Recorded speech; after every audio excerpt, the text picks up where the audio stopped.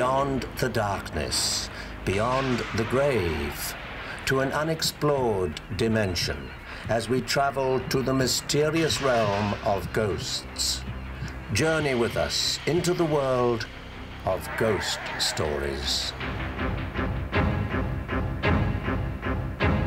Welcome to our show. I'm Patrick Macnee. Tonight we have some extraordinary stories. We'll investigate actual accounts of ghostly encounters. I'm not the kind of person that believes in this weird stuff. I wouldn't have believed it if I hadn't seen it with my own eyes. I thought everybody saw spirit and auras until later in life I was told not everybody sees. Julia died in 1921. Soon after this, her mother began to have a series of unexplained dreams when Julia began pleading and begging with her mother to dig up and exhume the grave. Although the field of parapsychology in America is only 100 years old, the Native Americans have been aware of the spirit world for thousands of years. This story is about just such a spirit. The Navajos believed there were many spirit forces at work in this world. One was the Chindi, spirits of departed persons, which take on various forms on Earth, often human. Even today, the Navajo spirits are very real to anyone from any culture who encounters Arizona's ghostly maiden, Red Feather. The Grand Canyon in the northwest the Salt River Canyon in the south. Arizona is a land of canyons. One sandstone-walled canyon was found by the Navajo and called the Spirit Canyon. Its walls were adorned with magic drawings by ancient peoples. Today, this sacred canyon is known to only a few, and they know it as the home of the ghost, Red Feather. As told by the Navajo, her story begins about 150 years ago when John Martin, a white trader from Prescott, accepted a young Navajo girl as payment for gunpowder and whiskey. John Martin built her a house which still stands today, although in ruins. It was quite a unique dwelling, incorporating both white man style and the Navajo eight-sided Hogan shape. In 1870, John Smith's bride bore him a healthy baby daughter, Anna. The mother died in childbirth. Anna grew to be a young beauty, with her mother's dark hair highlighted by her father's red. But she preferred to wear Navajo clothes and be called Red Feather. She was not accepted in the white man's world, and she hated her abusive father. So she ran away from home and made her way to her mother's Navajo village. Little did she know, she would also be an outcast in the Indian world from the day she arrived, forced to work and eat alone. The only place she felt at peace was in the Spirit Canyon. She studied her ancestors' drawings on the wall. One in particular she read as depicting a young man who endeavored to join the spirit world by leaping into the sacred canyon and taking his life. Unfortunately, this became the inspiration for Red Feather to leave the world she was born into but never fit into. And in 1887, she too ended her life in the canyon. Not long afterwards, local Navajos began seeing a strange vision of a young maiden in and around the canyon. The apparition looked very much like Red Feather. It was understood that she had indeed become one of the Chindi. Of course, the story of Red Feather could easily be discounted as nothing more than pure Indian legend, if it were not for the many corroborating dates and facts, and the modern-day sightings. When I was a little girl, I used to go out to Spirit Canyon, which is a sacred place for the Indian people. One morning, I went out there just after sunrise. I saw a woman standing on the edge she was wearing the traditional clothes. She looked like you could see right through her. I couldn't see her face because it looked like it was all black.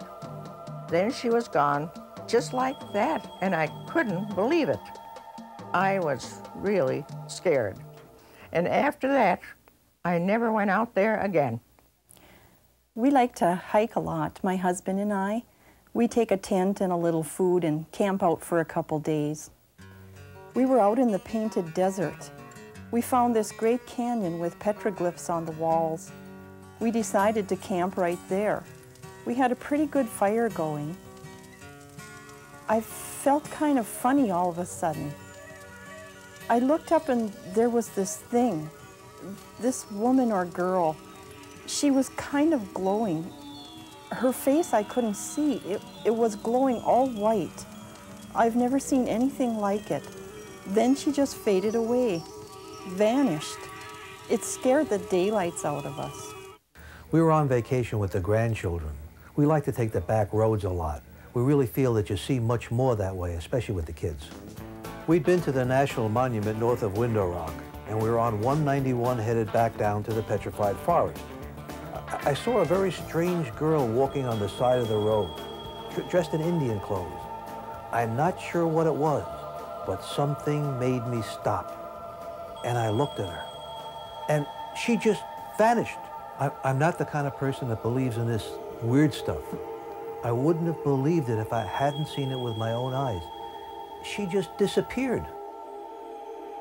Well, on your next trip to Arizona, if you see a pretty young Navajo girl along the way, looking a bit out of place, I would suggest that you don't stop and chat.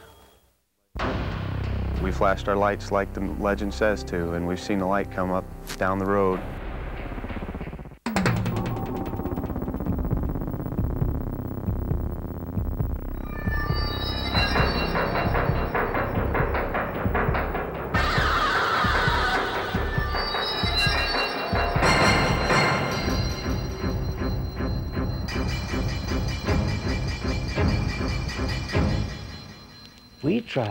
a small farm in Indiana to investigate this next story. It seems that some spirit apparitions can be summoned by a flick of a light. Hundreds of people have come to this farm site to see this ghostly sight for themselves. Rensselaer, Indiana, a small farming community just 80 miles south of Chicago, known for its vast landscape and humble tranquility. It is also the site of one of the greatest unexplained mysteries of the century. Legend has it that Farmer Moody was chasing after his son's abductor in the darkness, guided solely by the light of his lantern from his tractor. After a gallant chase, the man escaped, leaving Moody's dead son behind. Out of despair, Moody hung himself. And he happened to hang himself right here on this particular tree. It's now a tree stump. Three flicks of your car lights is said to summon the spirit of Moody and his bright lantern light. Witness Bob Lemire recalls his own experience. And I've seen the light myself coming out here. I've seen it. We've came out here and we flashed our lights like the legend says to, and we've seen the light come up down the road, get bright, and then seem to taper off as we went down the road. Lemire's startling home video footage documents his sightings. As he and his friend John approached the stump, they flicked their lights three times. Witnesses claim the light can even appear at will as it did here. The two lights on the right are known objects, while the one on the left appears much closer. After a few minutes, they notice something strange. The light vanishes. A few moments later, it reappears much brighter. After hearing Lemire's story, we decided to investigate. The first step was to call Moody with our car lights. So go ahead, flick it three times. Now let's look in the distance to see if anything happens. Unfortunately, nothing was seen after several minutes. We tried again. Then it happened. A light from the cornfield appeared in the darkness. You can see it in the upper left-hand corner of your screen as our cameraman tried to zero in on it. We have circled it for easier identification. The light appears to be in the sky, but I assure you this is ground level. As you saw, we went from total blackness to the sudden appearance of this strange light. It was time to get a closer view of our findings. What we've got here that could be one logical explanation is this particular stop sign right here. This thing here gave sort of a, a reddish glow from about a mile and a quarter down. These other signs at the end of the road could have reflected light as well, but I was wondering where the source of a known light could have been. There was nothing out here. I mean, this is, this is absolutely endless. There, there's absolutely nothing out here whatsoever besides this. Upon returning to the tree stump, we were amazed at the amount of spectators gathered to see Moody's light. Among them was another witness with an even closer encounter. This gentleman, Doug, over here, just told me a story that he was here last night. What did you see last night there? Um, right up by the side of the road, there was a little body with a lantern just walking around, looking on the side of the road. You could see the whole outline of the body. It was bright yellow, and so was the lantern. Whatever skeptics may say, we were there and we saw this light appear from an origin not one of us could trace. The glow of Moody's light will continue to be one of our greatest mysteries. I thought everybody saw spirit and auras until later in life I was told not everybody sees.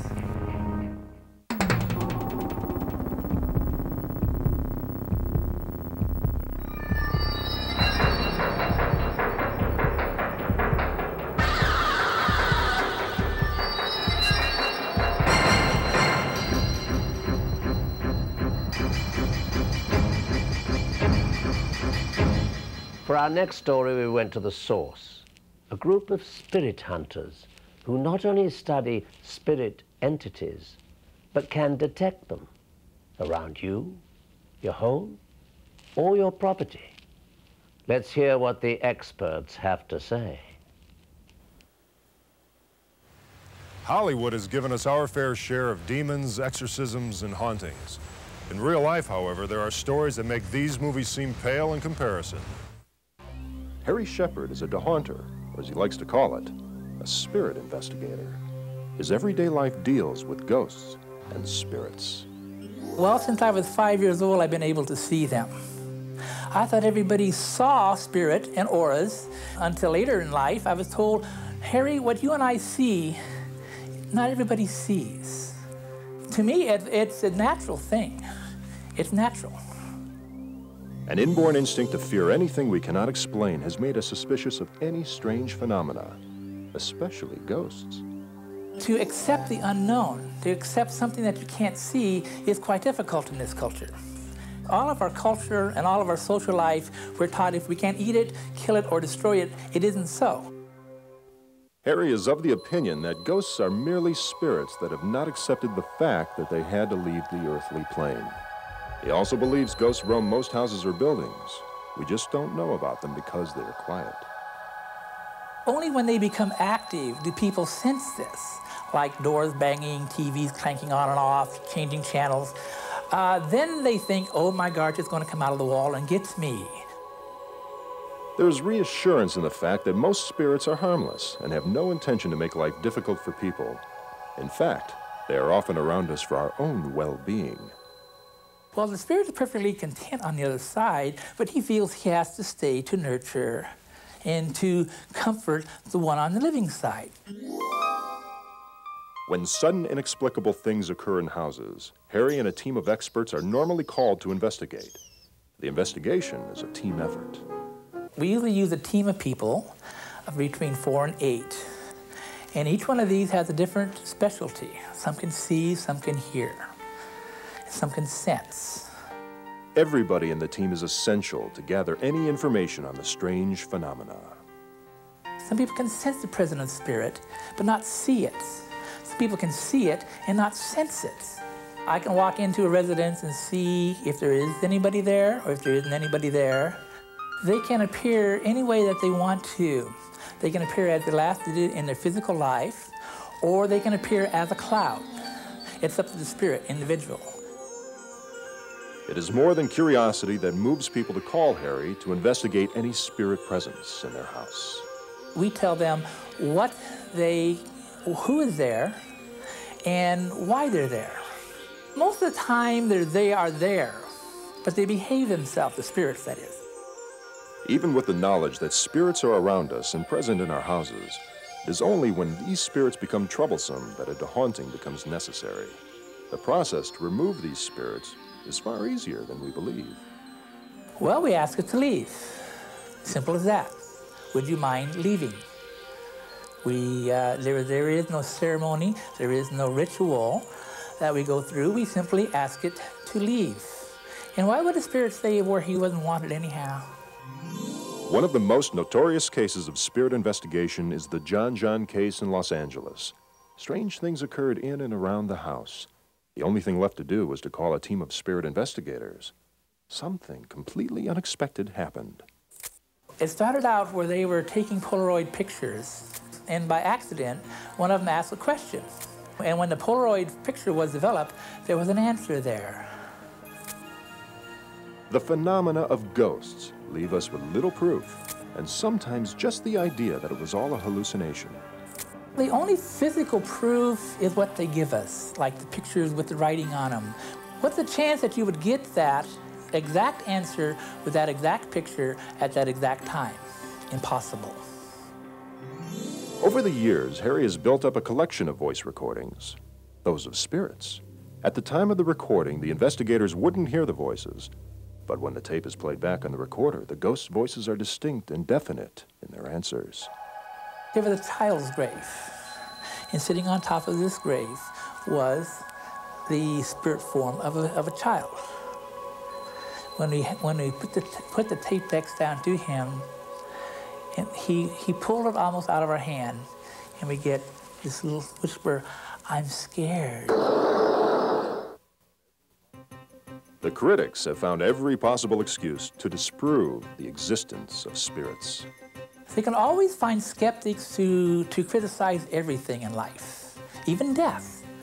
You would think that Harry's job is horrifying, but in fact he enjoys it. He sees it as his mission in life to prove to people that there's nothing to be frightened about. We do this work for nothing, as a public service. The more proof we can gather, the better we feel we can, we can serve the public. We do leave them with an idea that, hey, maybe there is something more to life than life. Harry views the spirit world as a natural part of our lives. He believes that it is the physical part of existence that is merely temporary. We have all lived many lives, and we'll all live many more. And the reason that we're here is to learn certain lessons, certain goals that we cannot learn on a non-physical reality, such as the spirit dimension. Ghosts and apparitions have given rise to legends and have created their own place in history. Maybe we can learn to accept ghosts as part of our everyday lives. After all, if we think about it, what are ghosts but the mere shadows of their former selves? I felt this incredible energy come over me, and it was this Chinese entity, Li Sung.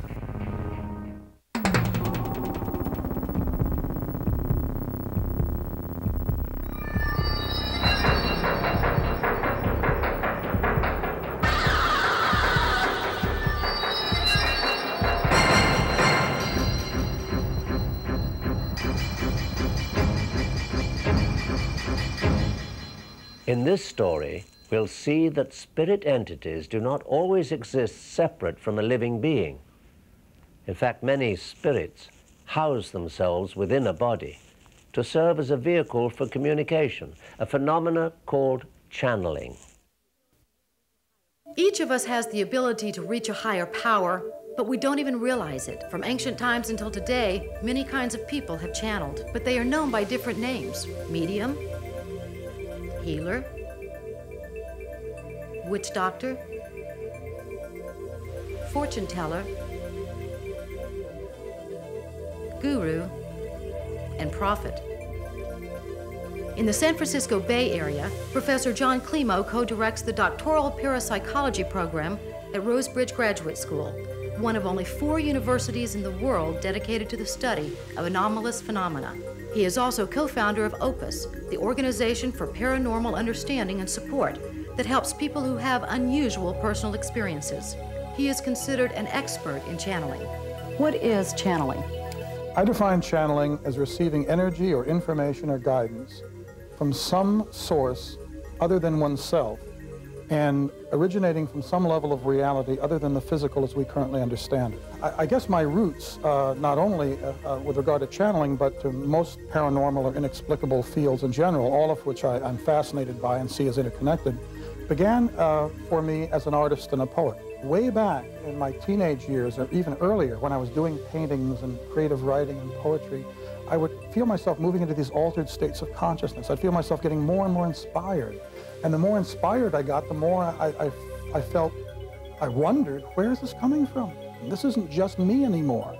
When I would kind of get in the saddle of the inspired moment, I was connected to other wavelengths, other worlds. Alan Vaughan is a psychic researcher or professional intuitive. He uses his talents in psychic archaeology to discover ancient ruins and in research experiments on psychic phenomenon. But he also has the ability to channel an entity from another time. I went to a number of mediums uh, to see what they could say about me. Three of them said that I would be doing channeling myself one day and gave me the name of this Chinese entity, Li Sung. Well, my response was, over my dead body. I felt this incredible energy come over me and it was Li Sung. There's what I would call full trance or unconscious channeling, where the channel goes away or goes unconscious and then comes back after the experience has occurred and doesn't have recall. I channel in a trance. It's like listening to a distant radio, as uh, Jane Roberts once said. I experience it very similarly, uh, but Li Sung shows me pictures of everything uh, he's talking about. And then he uh, impresses me, he's like he's standing behind me, and he impresses me so that it all comes out in English. What I call in my book open channeling. It's the kind of thing that I do. I don't lose consciousness. I don't stop being myself. And as far as I'm aware, there is not a particular identifiable entity that's, that's talking to me, that's working through me. Uh, so far as I know, it's still me, but it's more than me.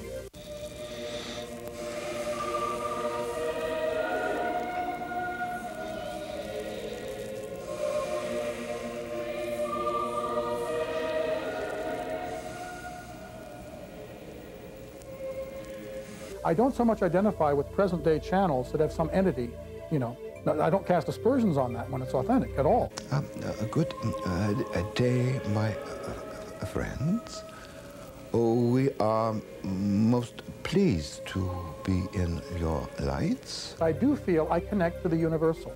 Where we lived um, about uh, 1,200 years ago by your time in a small village in northern China. The more I get carried away, the more I open up into this, the more I feel like I am an individuation of God in human form, letting more and more of that awakenedness and realization pour through me. And as it pours through me, the language picks up faster and faster. I'm grabbing at, at, at hunks of sentences and metaphors and images popping to me. I, am sort of like clairvoyantly seeing all these images. Uh, we uh, counseled uh, persons who had well, both physical and emotional problems. Uh, and we prescribed uh, herbs, and we did some therapy with them. But that there's something larger, a presence pushing to come through this person, and that, that presence is not just that person. To help people understand their past lives, their soul's purpose, how they may enrich their living with spiritual principles in everyday life. We individual human beings have been kept down so long by government, by authorities, by churches, by science, and told, you're only this, you're only this, you're only this.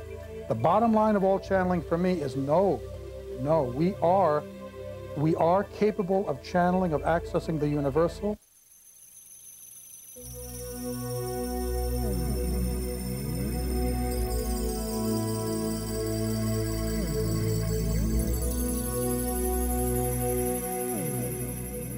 There can be danger in whom you connect to in the channeling process, and there can be danger in your own psychological strengths. Many people have the will to believe. I have the will to believe. Skeptics have the will to disbelieve. And in, and in parapsychology, there's two camps, the sheeps and the goats. The goats are those that don't believe. The sheep are those that tend to believe. For me, the ultimate channeling is to channel God, the universal creator, creation, being, Mother, Father, as Lazaris says, God, Goddess, all that is. I think we're capable of connecting with all that is. As you incorporate more of the higher teachings into your understanding, then you're also able to teach others. So there must be spreading across the planet this consciousness of spirituality, of hope, and of creating miracles. Heaven is within us, and that we are, we are potentially all channels in that we are all able to connect to universal heart and mind and wisdom and energy and, and, um, and be representatives of our Creator. Julia died in 1921. Soon after this, her mother began to have a series of unexplained dreams when Julia began pleading and begging with her mother to dig up and exhume the grave.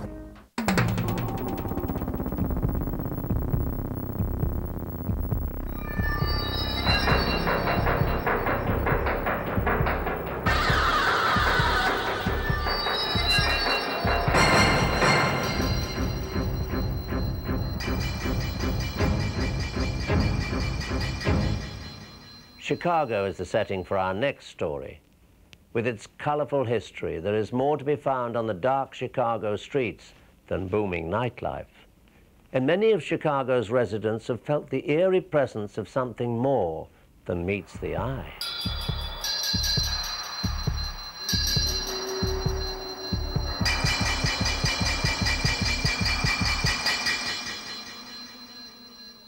Today we're going to take a look at a different side of Chicago, its sordid history, that which is filled with cemeteries, murders, and ghosts. People claim to see and feel ghosts. But ghost hunters are becoming much more scientific about the spirit world.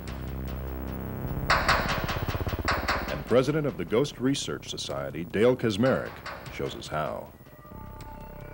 These devices will pick up that disturbance, and then we can try other equipment like our cameras and tape recorders and so forth. Basically, what this does is it picks up static electricity discharges in a given location. Another DOS meter, which doesn't give an audible signal, but actually gives LED lights. Uh, we have a Geiger counter out here.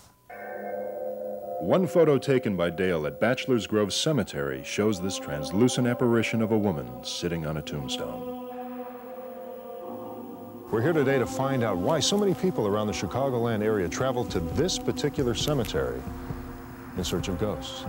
If you look at the historical uh, significance of the area around here and the, the plots that they had, uh, their names are on all the plots. The Fultons, the Wheelers, they all came from the, the old country, from Germany. So I assume that many of these people that are buried in here knew one another, and perhaps they're still calling their friends even after death. There have been reports within the cemetery uh, down this main trail as you walk into the cemetery uh, what appears to be a woman, sometimes dressed in a white gown or a wedding gown or a bridal gown of some kind, holding a baby in her arms. We know that through historical records it belongs to D.W. Rogers. There was one recording which I had heard a number of years ago. Somebody had recorded uh, not too far, few, uh, five or ten feet away from this main gate here, uh, a sound of uh, somebody calling Minna, Minna, uh, sort of wailing in the wind. And there is a gravesite in here uh, with that name, that first name of Minna. The dead don't rest too easily out here at Bachelor's Grove because of all the, uh, the sacrifice and the uh, things that have went on here in the past. It acts as like a battery, charging up this area to a point that eventually it discharges in a way through manifestations, through spirits, through cold spots, feelings, sightings, uh, and balls of light that people have seen. Bachelor's Grove isn't the only haunted place in the city. Next, we went to Chicago's south side to hear the tale of a murder and a ghost. This is the roadway uh, located directly in front of the Willowbrook Ballroom, where in 1931, Resurrection Mary, or a girl named Mary, was later dubbed Resurrection Mary, was hitchhiking back home along this roadway when she was struck and killed by a hit-and-run automobile somewhere between the Willowbrook Ballroom and Resurrection Cemetery. And since 1931, she has been seen still trying to hitchhike back home from the Willowbrook to the cemetery and beyond, but she never gets beyond the cemetery. We're at uh, Resurrection Cemetery in South Suburban Justice, 7600 Archer Avenue. We're coming up to the main gates of the cemetery. We're in August of 1976. A man traveling by the cemetery saw what appeared to be a girl locked in the cemetery after hours. When the police were dispatched to the area, they found these two bars of the cemetery gates pulled apart and bent at a very funny angle. And pressed in the bars were the impressions of fingerprints, skin texture, and scorch marks. No one was able to give an explanation how those marks were made on the bars. Then we visited the Mount Carmel Cemetery to see the evidence of yet another haunting. We're coming up to a uh, very interesting grave here in uh, cemetery. It's called Julia Buccola Petta. Julia died in 1921 at the age of 29 of uh, complications from childbirth, and she was buried here with her stillborn infant in this grave here at Mount Carmel Cemetery. Uh, soon after this, her mother, Philomena Buccola, began to have a series of unexplained dreams when Julia began pleading and begging with her mother to dig up and exhume the grave. This went on for many years as the frantic mother tried to get permission from the local parish, the cemetery, and other police authorities to exhume the grave. They found Julia uh, lying as fresh as the day she was buried, uh, apparently uh, no decomposition of the body whatsoever. Uh, there are two porcelain photographs on the, uh, um, the monument now. Uh, the top one shows Julia on her wedding day holding a bouquet of roses. The bottom picture on the base of the monument shows Julia as she was found six years later after being dug up in a perfect state of preservation. There isn't a reason why Julia had no signs of decomposition after six years. To this day, a white ghostly figure is seen roaming near her grave. Now we go to a restaurant in downtown Chicago where the Ghost Research Society found unmistakable photographic evidence of ghosts. Uh, the first photograph shows absolutely nothing at all. Uh, the bottom photograph, taken a few seconds later after the film was uh, wound and recocked, shows some strange light formation to the left of the, uh, the bust. What appears in this photograph, if you look to the extreme left, near that table, it appears to be a, a semi-transparent figure of a monk-like individual, apparently cowled in a monk's habit. You can see the semi-transparent image above the table and directly below the table, underneath the tablecloth, you can see what appears to be semi-transparent feet and legs. This videotape was recorded by the Ghost Research Society at the stakeout of the restaurant. Listen closely.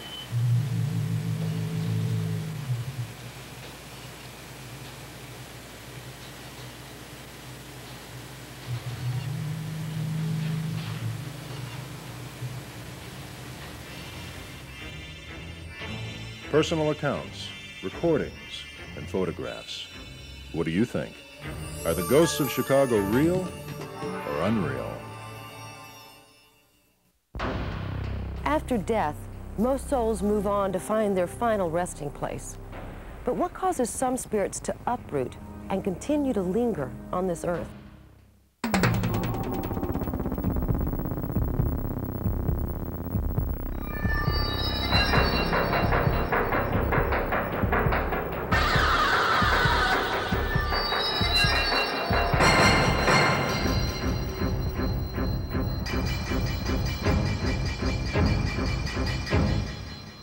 Let's say you think you might have some ghostly spirits living at your home with you. Well, if you find out your feelings were right and your fears confirmed, chances are you'd like to know what to do next. Well, so would we. Thus, our next story. Famous haunts have long been a fascination for the ghost hunter. The Queen Mary, the Tower of London, Abraham Lincoln in the White House, and in recent years, the Amityville Horror. After death, most souls move on to find their final resting place. But what causes some spirits to uproot and continue to linger on this earth? I think that there are a lot of spirits that hover around us and hover around the earth. A lot of them are lost, they're earthbound. They can't figure out how to go ahead and go on in their existence. Last year, a team of psychic investigators were called to a Los Angeles home, reported to be experiencing some rather strange phenomenon. The residents believed they were not alone. Was something lingering within these walls? They can appear any way that they want to. They can appear as the last did in their physical life, or they can appear as a cloud. It's up to the spirit, individual. We tell them what they who is there and why they're there. There's been a murder in this um, building somewhere. Someone was murdered here, a woman was murdered here. Did you guys check out that front bathroom? I picked up a heart attack in there and I couldn't breathe.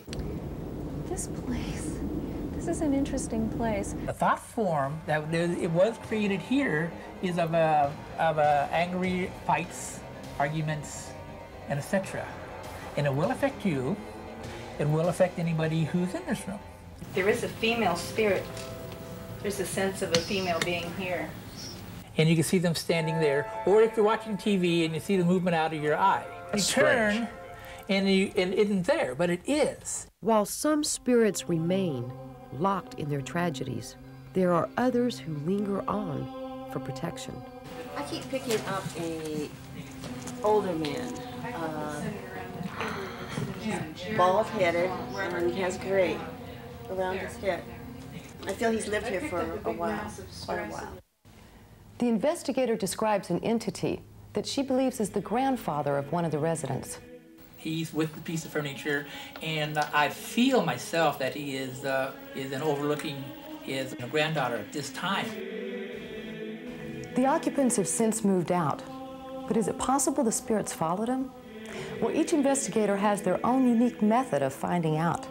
What I look for basically is electricity. Then I know I've got something of a spiritual type of energy force. I use clairsentience, clairaudio. Sometimes I look at an object, get a sense of what was connected with that object. My particular specialty is sensing changes in energy density. Especially if it's a mirror that leads to an outside wall, it could be a portal from which spirits come and go. I saw them when I walked through the door. I saw them as I walk in the door, turn on the on uh, my natural clairvoyancy and see who's there. The lady who was in the other condo now, she didn't she didn't come. I think she No. stayed with the other apartment. But one spirit was not to be missed, something all too familiar to the team and those who live at the residence. Did you guys pick up on the grandfather this time? Yeah. Uh, yeah, Judy saw him in the little girl's room. Well, your grandfather, uh, he likes the desk. If these spirit entities are all around us, could there be a way to communicate with them?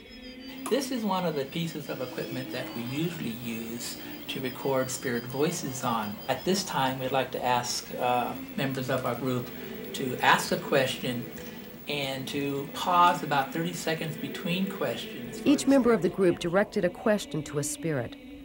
We heard no immediate response, but when playing the tape back, we came across something that was literally out of this world. I want to ask the grandfather if he wants to have the desk moved out of the bedroom because he wants to see here in the living room and be around other people. If, that's true, to say yes and rap twice.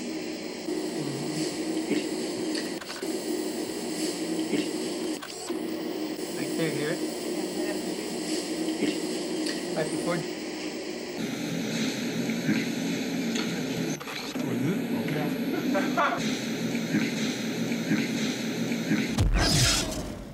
Just because we don't see anything doesn't always mean there's nothing there. The bond between life and death raises new questions. Who are these spirits? And in which realm do they really exist? Sold at most toy stores, the Ouija board might look like a harmless game. But some believe it can have serious implications. Those who have used it as a channel to contact spirits believe in its abilities. But many claim there is danger in allowing spirits with evil intentions to enter. While answers to your questions can be a simple yes or no, there are times when names and dates are spelled out. Maybe it's mind over matter. Maybe it's not. I'd like to say I don't believe in ghosts. I'd like to, but I really can't.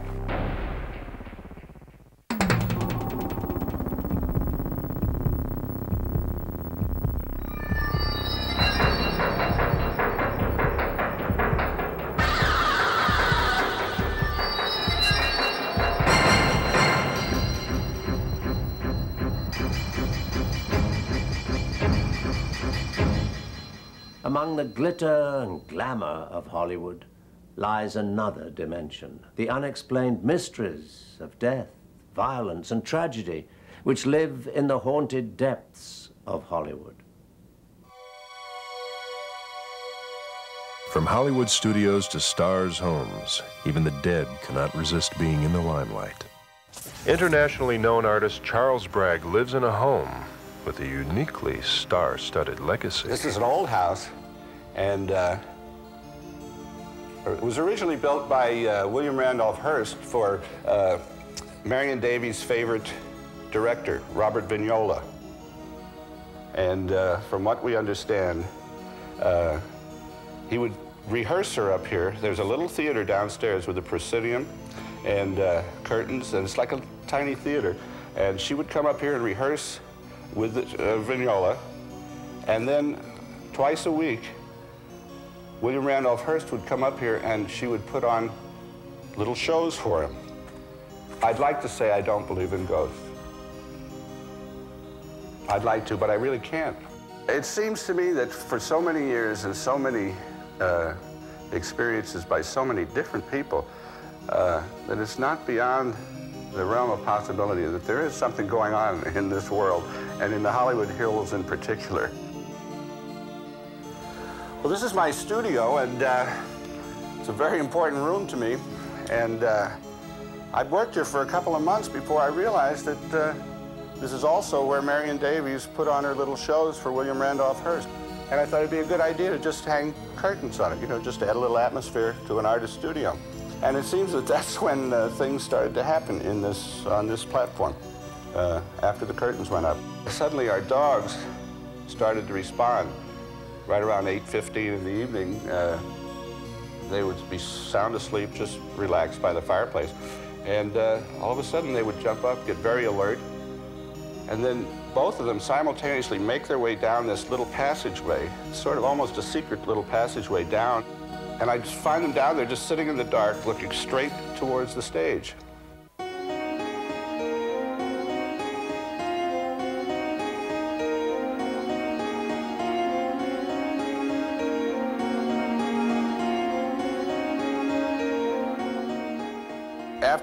Watching the dogs uh, behave the way they were, uh, I didn't think too much of it. But naturally, uh, the second or third time, uh, I started thinking about it. So the next morning, I would come down and check to see if everything's in the right place, things are in order.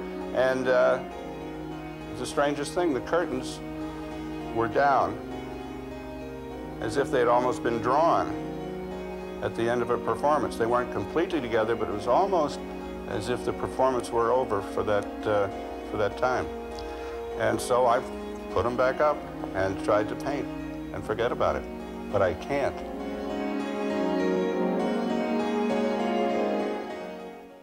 It seems that the spirit world is no longer a world apart. I'm Patrick Macnee, and that's our show. Thanks for joining me on Ghost Stories.